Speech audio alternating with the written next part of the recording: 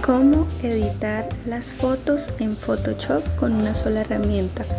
Para esta edición solo vamos a utilizar la herramienta parche.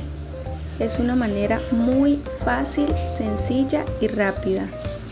Solo lo único que necesitamos es ir eliminando todas las imperfecciones con mucho cuidado,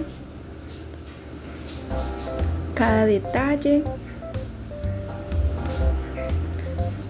El resultado es muy interesante